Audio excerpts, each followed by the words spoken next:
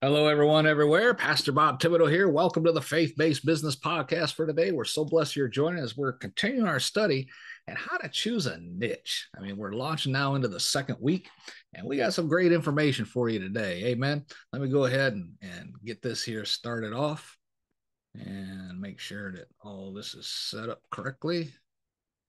And I believe that's it right there.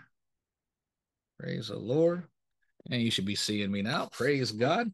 Now, we need to find areas of interest online. The last time when we left off last week was what are some ways to determine what areas online people are interested in? And of course, you know, we're still talking about how to choose a niche for your podcast, your online marketing platform, your sales platform, your ministry, whatever the case may be. Amen.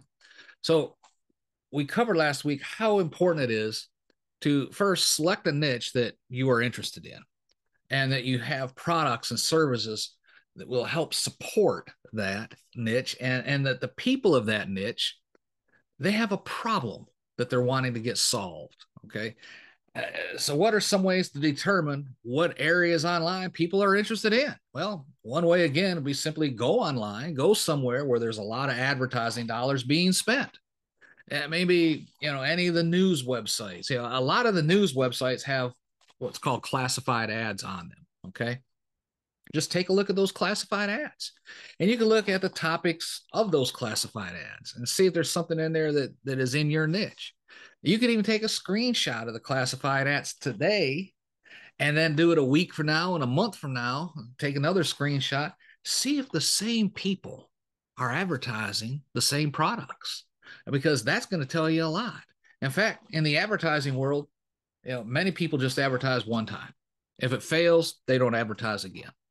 The only way to know if advertising works is to buy the advertising. You know, we talked about opening a restaurant. The only way you're really going to know if that restaurant's going to be profitable is if you go through all the expense, headaches, and heartaches and time of opening it. I mean, you can do all the research you want, but you'll never really know until you actually do it. And it's the same way with running ads. Okay.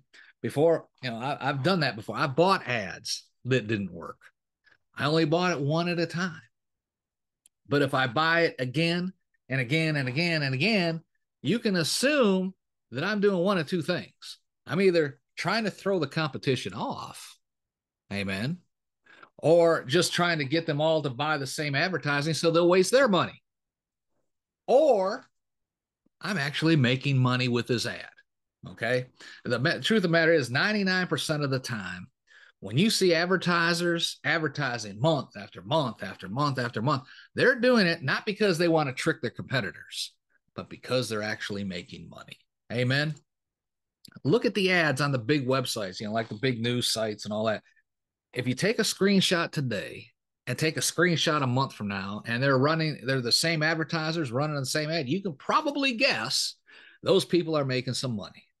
Does that tell you there's a big demand? No. It doesn't tell us anything about demand. What it does tell us though is there are some people in that niche making some money. And really if you get down to the bottom line that's all it tells us isn't it?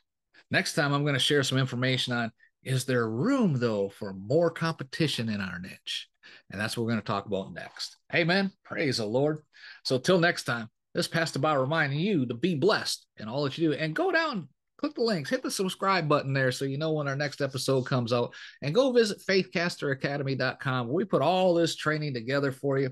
And members on the Faithcaster Academy, they get all the training as part of their membership, even the new products being added, even the live webinars I do. They're all included in your membership. Just check it out, faithcasteracademy.com. Till next time, it's Pastor Bob reminding. Be blessed in all that you do.